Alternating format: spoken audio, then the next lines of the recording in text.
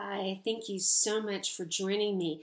Um, I'm talking about the atom in a series of videos, and it may seem unique to some of you to uh, see a section on electromagnetic radiation pop up. But it's so important to understand light because light is used, electromagnetic radiation is not only used to study matter, but we find that the mathematical models of electromagnetic radiation can actually help us understand very, very small particles like an electron. So it's a really critical little interlude to understanding the atom. Um, now, electromagnetic radiation uh, is typically thought of as a wave. Um, so we're going to look at the fact that light has both a wave nature and light has a particle like nature. And that duality laid a critical foundation to understanding the structure of the atom. So let's first look at the wave nature of light. So you may have seen this type of a diagram where you have a crest and then you have a trough and as you go from one to the other, you define the wavelength of light. Wavelengths will typically be measured in meters, but we're going to find that for a lot of the work we're going to be doing, nanometers is also quite important. Uh, the speed of light in a vacuum uh, is what we will be using, the speed of light. And this one, the 3.8 times 10 to the 8th meters per second, is often provided in a list of, con, uh, of constants.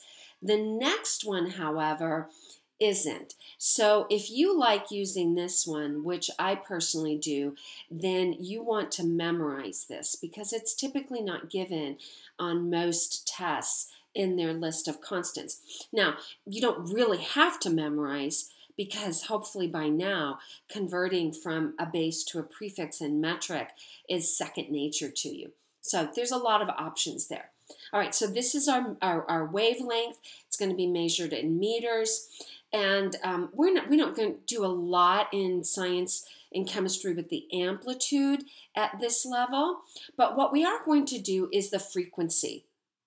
So what I want you to do is imagine, if you could, that you are looking at so this is your eyeball. Really it's going to be more likely a detector but i'm trying to give you a, just a thought experiment. So your um, your eyeball is sitting here and what you want to do is you're going to start a stopwatch okay? So you're going to do a stopwatch and you're going to watch the time. And in that time you're going to figure out how many of these waves pass your eyeball in a given amount of time. So the analogy might be if you're sitting on a corner, um, the frequency of cars, you could set your stopwatch and say, I'm going to see how many cars are going to pass by in 10 seconds. So you would be measuring cars per second. In this case, we are measuring cycles per second. And often we just ignore the cycles and we're going to do frequency, okay, as seconds to the minus one. So we have that wavelength that I mentioned. That's given the Greek letter in chemistry of lambda. And I've already mentioned how we measure that. Frequency in chemistry is given the Greek letter nu. Now, if you're also in physics, they use F um, we use nu. I guess we just like those fancier Greek letters. But um, anyway, cycles per second, or more often, seconds to the minus one. And you can use S for seconds. Now, if it were minutes, you've got to be careful because you can't use M for minutes because that's meters. Okay, but S for seconds is just fine. Okay, now the other thing we want to learn is that any visible light between 700 nanometers and 400 nanometers is the visible range. Um, and hopefully you will have time to study that um, at a basic level. You usually at least get to do visible spectroscopy, if not uh, uh, ultraviolet. Okay, now, um, if the visible range, often the acronym Roy G. Biv is used. You have red at the 700, so red, orange, yellow, green, blue, indigo, and violet at the 400 end. Okay, now not all light or electromagnetic radiation is visible. Okay, so um, that's what you often think of when you talk about light is you think about visible light because that's what our eyes see. Okay, so, but the visible range is actually just a small portion. So, just higher energy. So, energy is going this way. So, this would be higher energy, and this would be lower energy over here. Low energy. Um, I don't like to use high and low with wavelength because it's a length. So this would be a shorter, right? The 400 nanometer is the shorter wavelength end.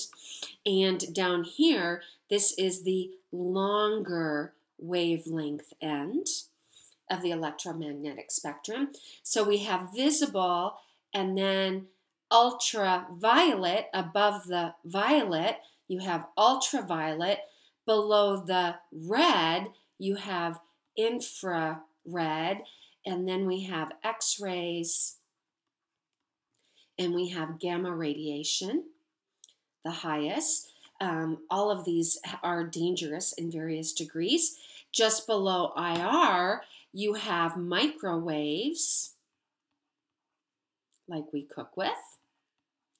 And down here, you're going to have um, radio waves, television, and so forth. I'm not going to divide that further.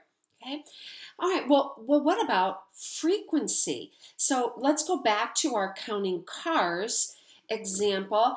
Um, if if these cars are bumper to bumper, does it make sense to you that if you have a shorter car like my Mini Cooper, you're going to see a lot of cars go by in um, 10 minutes. And so the shorter wavelength actually has the higher frequency. And if you have, you know, long like uh, limos, those are you're not going to have as many go by. So that would be going towards the lower frequency end. So what we see is that as you, the energy of a wavelength is increased, we have an increase, higher frequency, and a shorter wavelength. So we have a direct proportionality and an inverse proportionality. So if we want the higher frequency, we want to be considering the shorter wavelength representation. And those have an inverse relationship to one another. Um, and before I leave this slide, I don't want to forget uh, I, I don't like tricks that bypass understanding, but I love mnemonic devices that help us memorize. And so my friend shared this with me. Yay, Alicia Marusik, learned so much from you. Red Martians, radio, microwave, invade, infrared, Roy G. Biv, using ultraviolet, X-ray, gizmos. So red Martians invade Roy G. Biv using X-ray gizmos can give you this order. Okay, so um, in my next video, I'll be spending a little bit more time talking about the particle nature of electromagnetic radiation. I hope you can join me. Until then, for all my kiddos, this is signing off.